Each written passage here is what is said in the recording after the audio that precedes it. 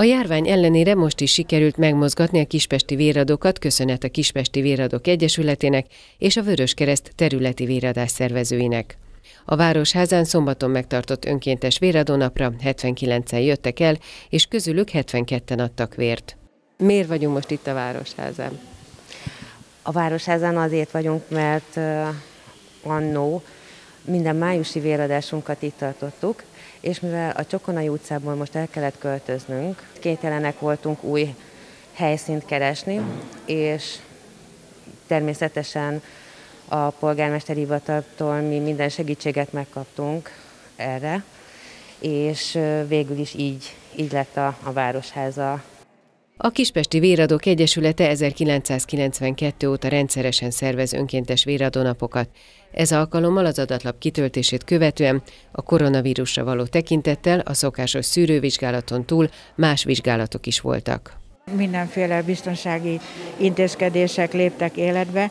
Ahogy látták önök is, hogy a, vérel, a véradó helyiségbe pont hőmérsékletmérés, készfertőtlenítés nélkül nem lehet belépni, illetve van egy tájékoztató, amit szintén mutatunk a véradóknak, hogy el kell olvasni. Külföldi tartózkodás kizáró tényező, aki COVID fertőzéses beteg közelébe tartózkodik, vagy vélt beteg közelébe tartózkodás is kizárt, illetve hát aki magán észleli ezeket a jeleket, tehát a fertőzés jeleit az sem adhat vért, nem jöhet be ide. És igyekszünk ugye a távolságtartásra, azt kell minden helyszínen biztosítani, csak annyian tartózkodhatnak a, a terembe, a, ami, akik tulajdonképpen vért adnak.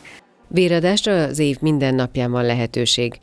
A véradásokért felelős két szervezet, az Országos Vérellátó Szolgálat és a Magyar Vöröskereszt hangsúlyozzák, hogy vérre az előttünk álló téli hónapokban is nagy szükség lesz. Éppen ezért a Vöröskereszt egy új kampányt indított el, melyel a fiatalokat szeretnék elérni. A Véred messzire juthat elnevezésű kampányról a www.messzirejuthat.hu oldalon lehet tájékozódni.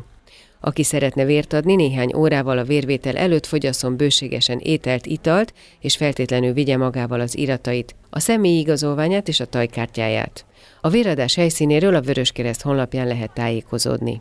Országosan 1600-1800 véradót várnak. Naponta? E, igen, igen, igen. Ez e, ennyi szükséges a biztonságos vérkészlethez. Felhívnám a figyelmet ezúttal, hogy tulajdonképpen minden reggel van tájékoztatás erről. Ha jól tudom, az M1-en 8 óra előtt hangzik el általában az Országos Vérelátó szakmai vezetőjétől, a felhívás és egy tájékoztató, hogy végül is a, a vérkészletek hogy állnak. A kispesti részvételi arány rendszeresen vetekszik az országoséival. A levet vért szűrik, hogy azok se a szifilisz, se az AIDS, se hepatitis vírusfertőzöttek ne lehessenek. A vizsgálatokat minél hamarabb elvégzik, mert a vér legfontosabb alkotóeleme, a trombocita csupán 5 napig fagyasztható. Egy ember évente háromszor adhat vért. Milyen változásokat idézett elő ez a járványos helyzet a Kispesti Véradók Egyesülete életében?